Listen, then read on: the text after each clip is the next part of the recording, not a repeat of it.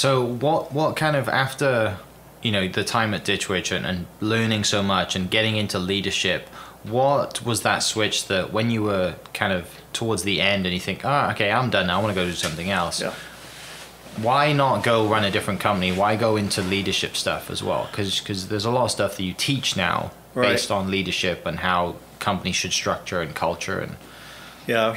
Uh, uh, there's so, a service element to A it. couple aspects of that. First of all, when you work for a company as great as Ditch Witch was, um, the idea of going somewhere and sort of replicating what you just did, you're like, I was already at a great company. It can't get any better, right? And that was sort of my feeling. Uh, the second part was uh, maybe it's ego. I don't know what it is. I always wanted to own my own company. That was never going to be my company. It was a great family that owned it. And uh, so, and the other thing that happens, all of us, when, once you hit, I don't know what age, 40 some years old, you start sort of figuring out, I'm not very good at these things, but I'm pretty good at these things, right? And that sort of hit me.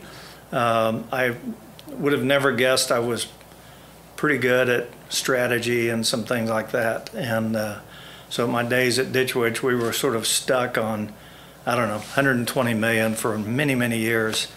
And not me, but the team around us when we kind of got where we were driving things a little bit. Uh, we were kind of like, okay, how do you get 1,600 employees all on the same page to drive something? And that's when I became just a passionate student of strategy. And so we kind of figured it out, and uh, we grew from 120 million to 350 million in about five years. Yeah. And that's when I went, oh, that was fun. And secondly, you only do strategy once a year. I'm like, I'd love to do that every day. And so that was part of what, mm-hmm. you know, wanting to own my own company, feeling really comfortable with the idea of helping people with strategy, having enough relationships around the world to maybe be a foundation for some of that. Mm-hmm.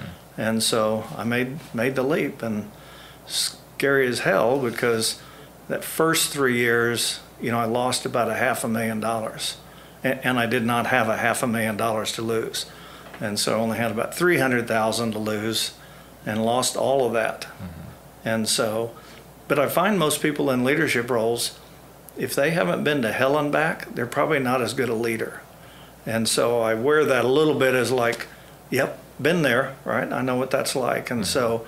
Um, and most great leaders, if you get them to be a little bit transparent, they've got stories like that where they just, and you can't quite explain what happened or how it happened or any of that, but, uh, you know, once you, you just sort of reset, okay, that's not working the way it's doing, let's switch.